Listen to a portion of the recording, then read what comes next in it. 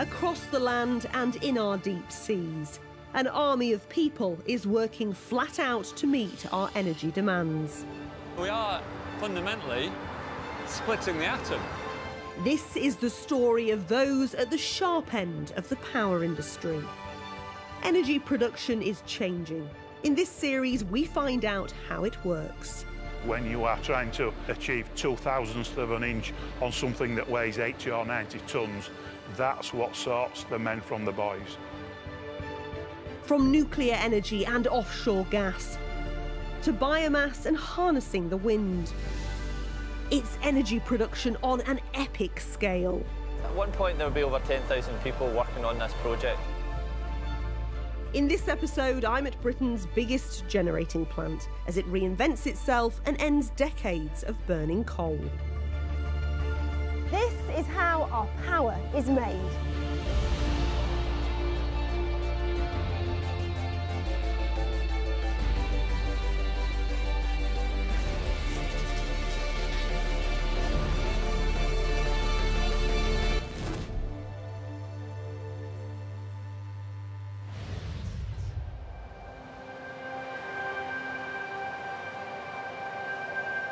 Not far from the Yorkshire town of Selby, an unusual guided tour is about to take place.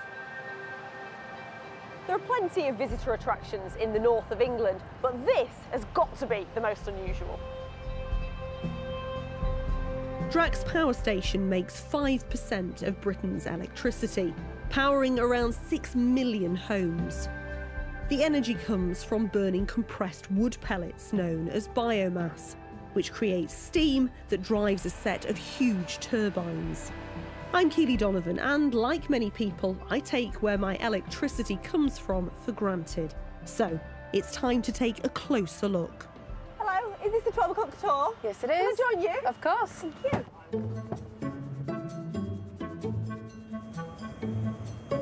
Each year, 12,000 people take a tour of Drax, often with guide Jane Breach. Why do you think people want to come on these tours? It's a fascination with the power station. It's such a huge, iconic station, and people are interested in the engineering, they're interested in the architecture, they're interested in the past, and of course, they're interested in the future.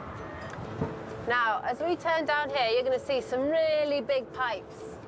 They're huge. They're nine meters in diameter. Did you know they're bigger than the Channel Tunnel? Ooh. In her six years here, Jane's become a bit of a power station encyclopedia. What are people generally most amazed about? What facts do you give them that you get lots of wows for? The size, and the fact that we can hide the Statue of Liberty in a cooling tower should we want to. Even just the sheer size of the site, you know, nearly 2,000 acres, it's, it's quite a big site. Do you enjoy it? Oh, I love it. I love talking about it. I'm a bit of a power station geek, truth be told, so I love talking about it. Have you ever had any unusual questions or requests? The most unusual request was the uh, request to get married on site. No. Yes. Uh, Could they? unfortunately, we can't because we're not registered, although one of the guides is a registrar, so she was quite up for doing it. So it. nearly. Someone Nearly, nearly yes. get married on site. Drax was one of a series of large power stations that were built right in the heart of the Yorkshire coalfield. Fossil fuels were seen as part of the long term solution to Britain's rising energy needs. Construction started at Drax in the late 1960s, and as this Tomorrow's World programme showed, the building work was right out of the space age. This is the Apollo moonport, the launching pad for America's manned mission to the moon.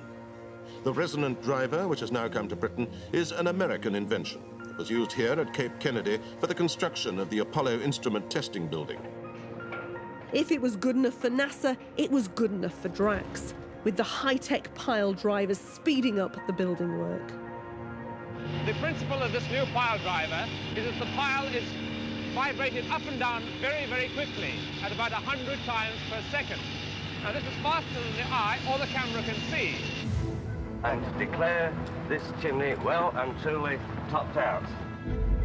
When it came on stream in 1974, this was the most advanced and efficient coal fired power station in the UK. And by the mid 1980s, it had doubled in size to become the largest in the country. For much of Drax's history, coal powered its six turbines, but high carbon emissions led to it being dubbed the most polluting in Britain. These days, the UK is increasingly going coal free, and there have been big changes at Drax too. In 2013, a new fuel came on stream. Four of its boilers now burn biomass, a wood product that comes from commercial forests in North America. Biomass is controversial. Drax says it's cleaner than coal and a renewable fuel source, but critics say burning wood on this scale just doesn't stack up. Around 90 biomass trains arrive at Drax every week, each one bringing 1,600 tonnes of fuel. And it's Duncan Mounsey and his team who make sure it's unloaded safely. Presumably there are lots of considerations when you're transporting and moving this because it's not coal, is it? It can't just be left outside. No, you're right. Coal can just be brought in and left outside. Not, not really a concern. Biomass, we do have to look after it. It's a, it's a lot more susceptible to moisture. Um, a lot of the wagons, that are, all the wagons that we have, have all got sealed doors on top, so just to keep them completely dry. It's obviously flammable, so um, wood always wants to burn. So all the plant we have to look after, we have to maintain it really well to make sure that uh, we don't have any issues. Precious cargo, this then. It is. It is a precious cargo. We treat it uh, almost as, uh, as much as gold, I would say.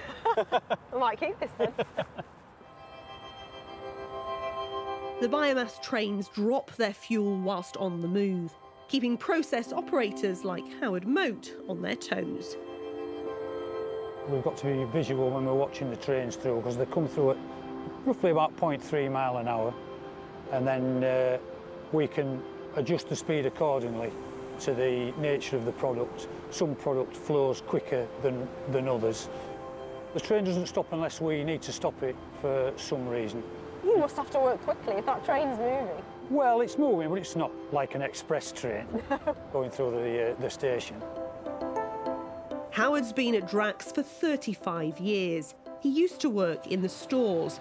Now, part of his job is to walk the length of the biomass conveyor belt system. The conveyors that we've got are about 3.2 miles long of conveyors. So walking up and down them. So walking up and down them, up and down the stairs, yeah, yeah, yeah. Walking to the top of the domes, which on a very, very nice day, there's not a lot of places you can see York Minster and the Humber Bridge in, in one location. The biomass is stored in these enormous containers. Each one of these storage domes is big enough to fit London's Albert Hall inside, and between the four of them, they can hold 300,000 tonnes of pellets. That's enough to power all the homes in Leeds, Sheffield, Manchester and Liverpool for 12 days.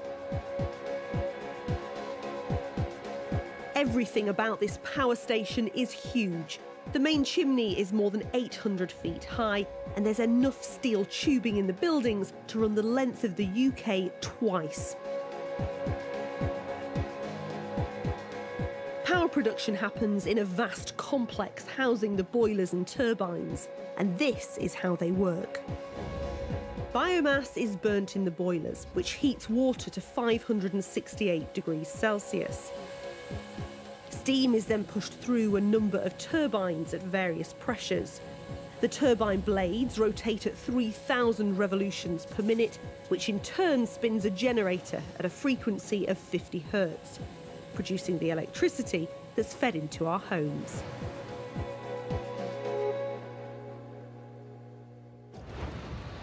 But all this equipment takes a lot of looking after.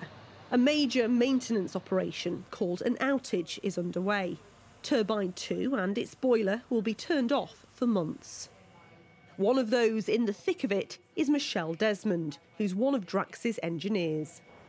So what exactly is your job here then? So I do outage coordination. So when we take one of the units off, it's uh, for a short period of time. We've got to maximise that period of time offload. So we've got to coordinate lots of activities for repair and refurbishment.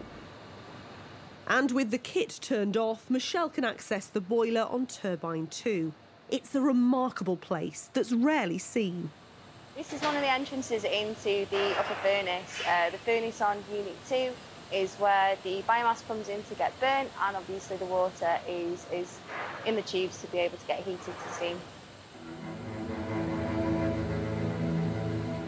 It's a supersized operation. The whole boiler house is around 70 metres in total. That would fit about a Nelson's column in there. But getting inside the boiler isn't straightforward. Similar boiler doors across the, uh, the unit, you figure out your way, different ways of getting inside. Some are legs first, some are head first. That one's head first. Each boiler weighs around 4,000 tonnes and is as tall as a 15 story building. It's a complex network of pipes designed to maximise the production of steam. If the boiler was in action, this would be a raging inferno of heat. We'd be just above the fireball here. Um, we're trying to heat the pendants here to 568 degrees, so yeah, we wouldn't be stood here for very long. There is 363 tubes across the front wall and uh, 363 tubes across the back wall as well. Um, the materials in here range from anything from carbon steel all the way up to stainless steel. If we were to take all the tubing that's inside the boiler and line it end to end, it's probably in excess of 300 miles. That's just one boiler, and there are six of them at Drax.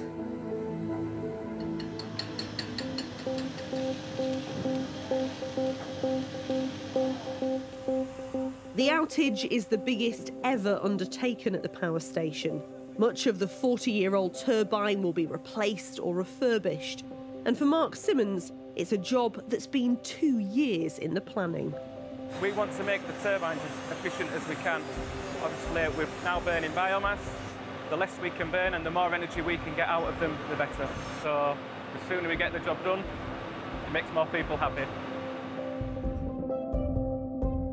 You can only really appreciate how big things are by standing next to the equipment. This is one of the old turbines that's been taken out, and look at it, it's huge. There are 1,900 of these blades, and when it was working, it would spin at 50 times per second. It also produced more than a million horsepower, which is the equivalent of more than 1,200 Formula One cars. Pretty impressive, eh?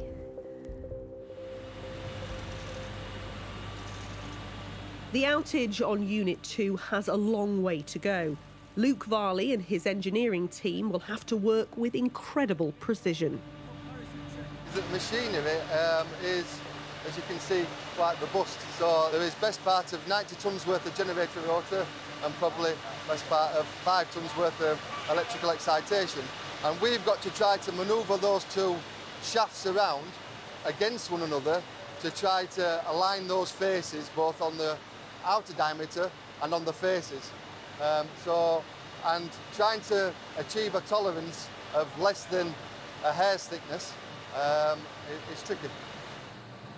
The problem we've got is if we don't get these two elements perfectly aligned, when we spin this machine up to 3,000 revs per minute, the actual unbalance that that misalignment will cause will prevent this machine from coming to service because we have a, a protection system that governs the shaft line and if it sees a level of vibration that is outside its permissible tolerance, it will shut the machine down. Engineers will be working round the clock to get Unit 2 back in action. In the energy business, time is money.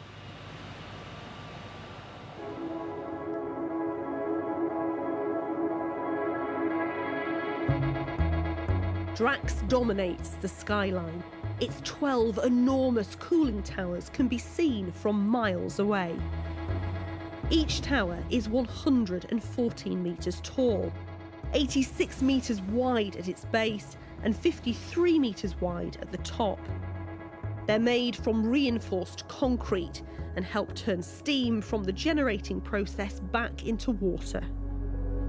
What you can see coming out of the top is just 2% of the steam that enters the cooling tower. The rest falls to the ground as water and is collected and used again. It's only when you peek inside that you realise just how unusual they are. Especially when you think that the walls are on average just seven inches thick. They're a marvel of engineering, and proved to be a bit of an inspiration for one young boy when the station was being built.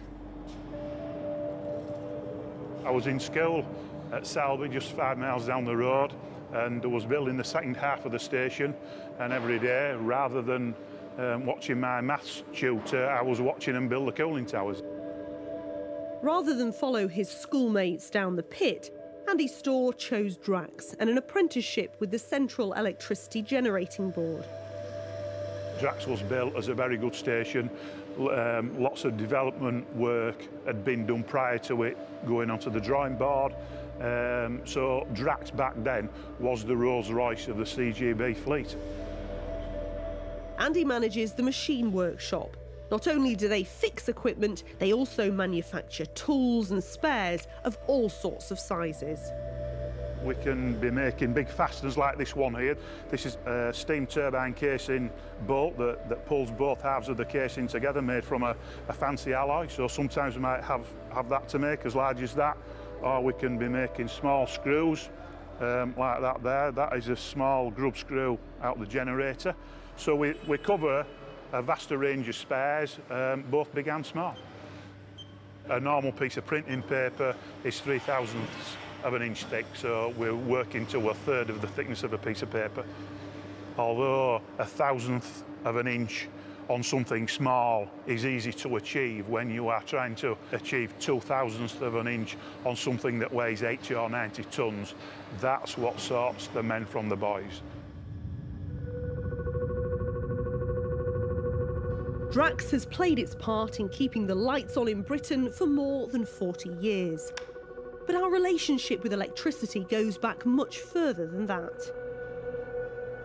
Today, the country's power needs are managed by the national grid, but the network of pylons and wires go back to just after the Second World War. Here, St Paul's Cathedral is the national control centre of the British Electricity Authority, where constant watch is kept on consumption and output, and measures taken to keep the wheels turning and the lights burning during the critical peak periods of early morning and early evening. They were trying to balance the needs of a population who'd fallen in love with everything electric. That balancing act still takes place, but these days the generating mix is much more diverse and is overseen by Ro Quinn, who's the head of the National Grid ESO control room. We're like the air traffic control of the electricity system. We make sure the power can get from wherever it's generated to wherever it needs to be consumed. And we manage that at real time, second by second, uh, to make sure the electricity can move across the system to wherever it is that you need it. What you can see behind us is what we call our map board. So the really big part of it is a map of Great Britain, but tipped on its side. So we have Scotland, uh, England and Wales, and then down to the south coast. And the different colours tell us about the different wires and cables that make up the system and helps us get an immediate picture of, of what's going on. The amount of electricity being consumed ebbs and flows during the day as people get up, go to work, and return home. We'll be looking to what we call darkness peak, which is when it starts to get dark. We'll get home from work, from school, start to turn on the lights, start to make tea, start to do a few of the household chores. And that demand over the winter months is always really driven by uh, industry, obviously, but also domestic activity. How are you heating your home? What lights do you have on? Um, and then it will start to look at what's on TV and uh, what programs people will be watching together and what's your behaviour at the halftime break.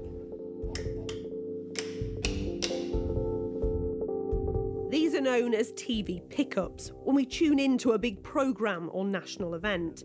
Some, like royal weddings, are predictable, others less so, as Amy Veltervreden remembers from 2013 when Andy Murray won Wimbledon for the first time. What we saw during July 2013 when Andy won was we've got a historic sort of trend of demand and generally that was playing out. But at the end of the first set, we suddenly got a, a pickup of 300 megawatts, which is the equivalent of around 100,000 kettles being turned on. And we had to make sure that we instructed the right amount of generation to respond quickly to meet that demand. As the game went on, a similar thing happened at the end of the second set, and then we all sort of started to get excited. Lots of people sat down to tune in. We really saw demand drop off as they didn't do their usual activities. At the end of the game, when we won, we got a 1600 megawatt pickup. So we had to instruct lots of units across the country, a range of pumped storage, uh, fast-acting generation and steam generation to make sure that we could match that supply and demand. And that the rest of the nation continued with their day, celebrating the win.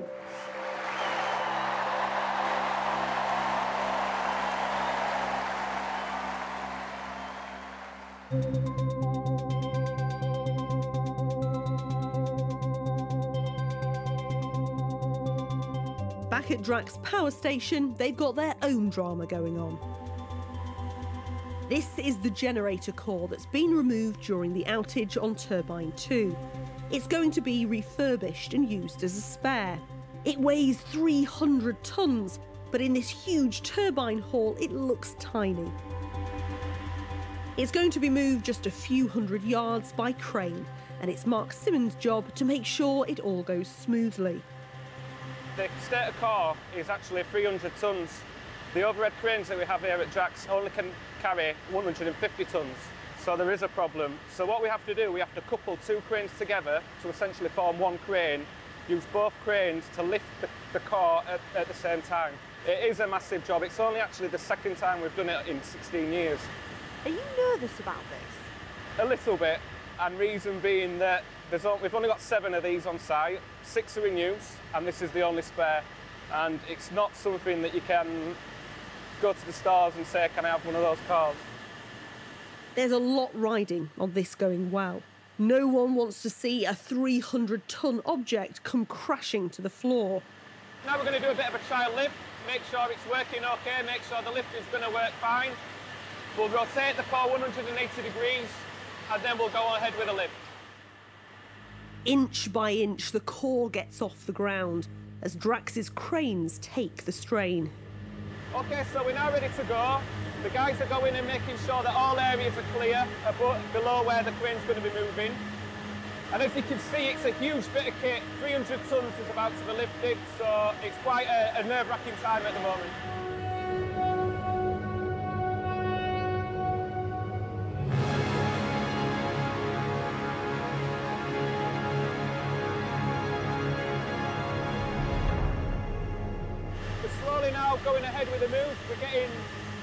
75% of the way there, so things are looking good at the minute.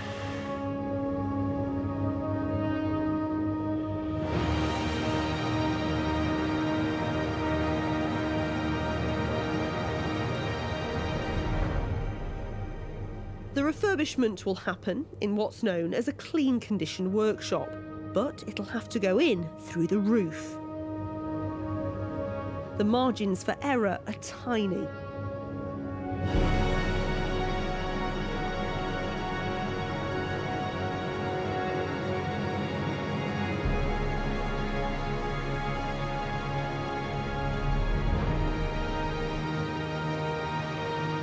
Mark, it's the end of months of planning and a chance to finally relax.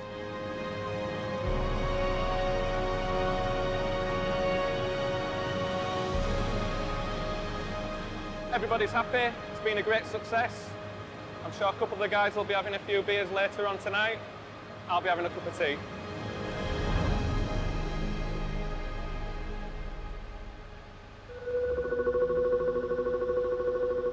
But the work at Drax never stops. As the generator core gets ready for refurbishment, the boiler and turbine on Unit 2 are about to come back to life. The outage has been a mammoth operation. It's cost more than £50 million and involved more than 1,000 contractors, and the boiler and turbine have been offline for four months. Hey, want that steam to set, mate? The Drax control room is responsible for getting the turbine up and running and connected to the grid. For Chris Summers and his team, the heat is on. It's not been without its challenges. Uh, sometimes they take a bit of kick-starting like your old cars. Uh, this one's certainly been a, a long outage. We've been off for four months, done an awful lot of upgrades. Uh, roundabout the areas, there's been a full control system upgrade. We've done upgrades on the turbine, so a high, more higher efficient machine. Boilers had extensive work, so it's, it's all just nursing it all back to life. Fuel is added to the boiler and the pressure builds up. The engineers who've taken the turbine to bits and then rebuilt it are keen to see it working again. And for engineer Luke Varley, it's a tense time. As we run the turbine to speed and as we start to load the turbine, um, it's very uh, sensitive to thermal conditions and changes in loading. Um, so we have to make sure uh, that we're not doing any damage to the bearings as we, uh, as we run it up. Just be aware, we're going to hold at 1340 for 21 minutes. It's um, the end of a long road and we're, uh, we're just wanting to make sure that we, uh, we don't uh, take his eye off the ball at this uh, point. It's just starting to ramp now, so it's not kicked off yet. To feed power to the grid, the turbine blades need to reach 3,000 revolutions per minute. At almost the halfway point, it seems everything is working well. Yeah, machine dynamics are happy to go. Ready. And as the power is increased, a crucial moment is reached. 2,600, or just above, is um, a critical speed for the turbine. The shaft's spinning at 3,000 RPM, but the tips of the blades are probably doing 1,400 mile an hour. So it's quite a critical point of where things could quite easily um, go wrong and unravel. Once you get the bearing vibrations will pick up naturally, and then you see them decay. So it's once you get over that hill, you can see the uh, the run down then. With the turbine blades spinning at 3,000 RPM, the generator is producing a current of 50 hertz. There are huge forces at play. Each turbine at Drax produces more than 600 megawatts of energy. That's enough to power over a million homes. But the connection to the grid goes almost unnoticed. With just the press of a button, Unit 2 is back online. Once again, Drax is firing on all cylinders.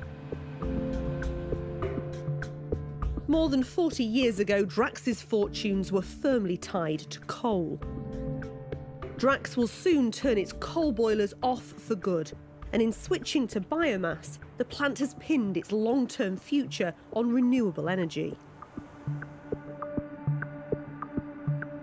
The power station that was once deemed the biggest polluter in Britain has seen its CO2 emissions tumble, and it plans to use new technology to be carbon negative by 2030. Drax has been powering Britain for four decades, and its engineers will continue to do so for many years to come.